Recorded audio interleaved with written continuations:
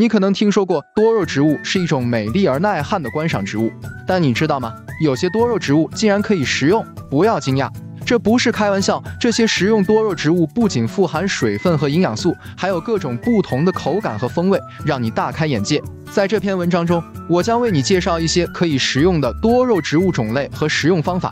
以及它们的营养价值和美味程度，我还会提供一些食用多肉植物的食谱和注意事项，让你可以在家尝试。快来跟我一起探索这个神奇的多肉世界吧！火绒草像黄瓜一样脆嫩甘甜。火绒草是一种原产于南非的多肉植物，它的叶子呈圆柱状，表面有细毛，颜色有绿色、红色、紫色等。火绒草可以生吃或者煮熟吃，口感脆嫩，味道清甜，有点像黄瓜。火绒草富含维生素 C、钙、铁等微量元素，具有清热解毒、利尿消肿、降血压等功效。火绒草可以做成沙拉、凉拌、炒菜等各种菜式，也可以做成果酱或者果汁。龙舌兰从酒到茶到菜都能做。龙舌兰是一种原产于墨西哥的多肉植物，它的叶子呈剑形，边缘有锯齿，顶端有尖刺。龙舌兰可以做成龙舌兰酒或者龙舌兰蜜，也可以做成龙舌兰茶或者龙舌兰汁。龙舌兰酒是一种著名的墨西哥果酒，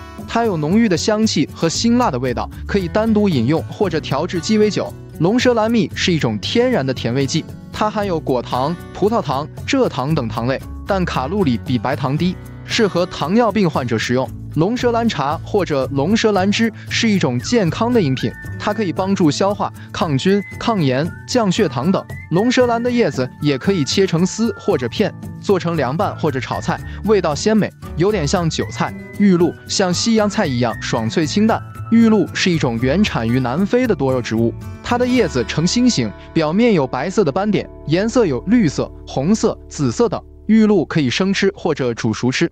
口感爽脆，味道清淡，有点像西洋菜。玉露富含维生素 A、B、C、E 等，具有清肝明目、润肺止咳、利尿消肿等功效。玉露可以做成沙拉、凉拌、炒菜等各种菜式，也可以做成果酱或者果汁。珊瑚珠像葡萄一样酥脆酸甜。珊瑚珠是一种原产于南非的多肉植物，它的叶子呈圆球状，表面有白色的粉霜，颜色有绿色、红色、紫色等。珊瑚珠可以生吃或者煮熟吃，口感酥脆，味道酸甜，有点像葡萄。珊瑚珠富含维生素 C、钾、镁等微量元素，具有抗氧化、抗衰老、美容养颜等功效。珊瑚珠可以做成沙拉、凉拌、炒菜等各种菜式，也可以做成果酱或者果汁。食用多肉植物的食谱和注意事项。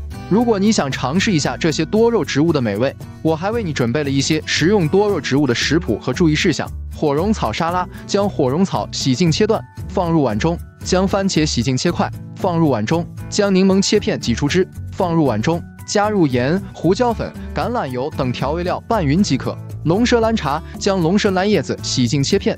去掉边缘的锯齿和顶端的尖刺，将龙舌兰叶片放入锅中，加水煮沸，加入红茶包或者其他茶叶泡制，加入蜂蜜或者其他甜味剂调味即可。玉露凉拌，将玉露洗净切片，放入碗中，将大蒜剁碎，放入碗中，加入醋、酱油、香油等调味料拌匀即可。珊瑚珠果酱，将珊瑚珠洗净，去掉根部和枝干，将珊瑚珠放入搅拌机中打成泥状。将珊瑚珠泥放入锅中，加糖和柠檬汁煮至浓稠，将珊瑚珠果酱装入干净的玻璃罐中保存即可。不要随便食用未经确认的多肉植物，有些多肉植物可能有毒或者不适合人体消化。